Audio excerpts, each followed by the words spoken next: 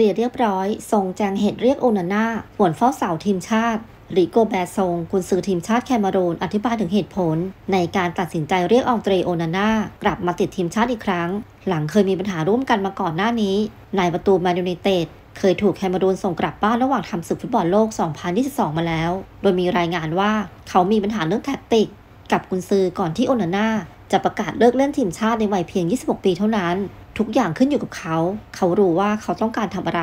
ถ้าเขาอยู่ใน list รายชื่อ มันเป็นเพราะว่าเขาทำในสิ่งที่ถูกต้อง เขาคือหนึ่งในผู้รักษาประตูที่ดีที่สุด ประตูของเขาเปิดอยู่เสมอ เราไม่เคยมีปัญหากัอองเดร